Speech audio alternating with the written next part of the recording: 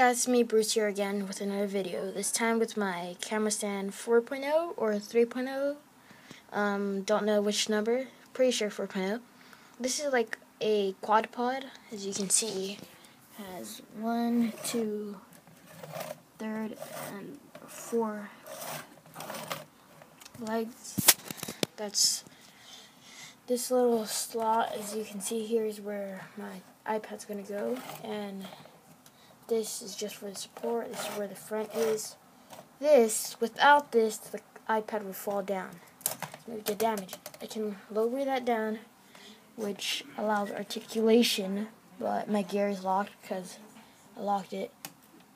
And with this, it locks as well articulation. So, still a turn without this connected, but I'm one-handed and I don't want to drop the camera. So, yeah, I'm going to skip that function. That's basically it. Thanks a lot for watching. Don't forget to leave a like, subscribe, and comment down below what you want to see next. Until next time, guys, peace.